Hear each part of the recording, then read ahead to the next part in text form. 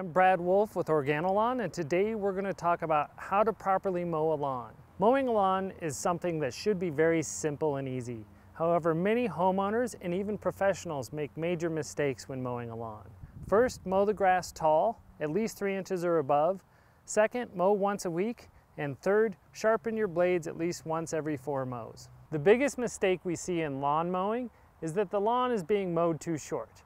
And when we say too short, that's anything less than three inches tall. So the actual foliage of the grass is where the plant stores its water. And if you mow it tall, it will be more drought tolerant and you won't have to water the lawn as frequently.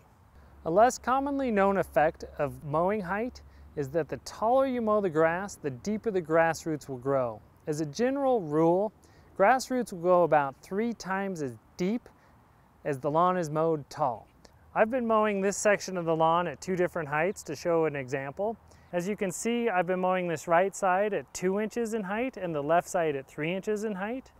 And as you can see, the section I've been mowing at three inches has a much deeper dark green color. And I'm gonna take a core sample out of each section and this left side that I've been mowing at three inches in height will have roots that are growing nine inches deep. And this right side, as you can see, the roots are only growing about six inches deep.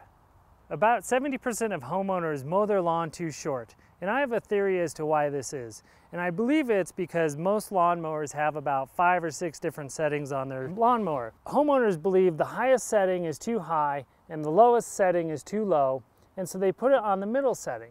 And in reality, the highest setting is usually the appropriate setting. So our recommendation is set the lawn at the highest setting and then use a ruler to measure the mowing height.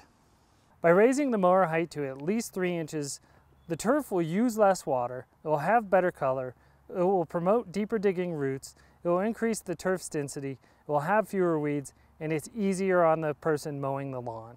A few other important tips about lawn mowing are to mow the lawn once a week.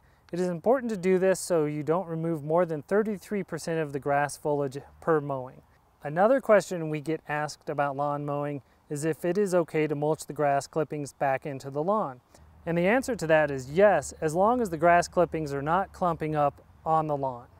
The grass clippings are actually beneficial for the microbial and bacteria bed in the soil and they add additional organic matter back into the lawn.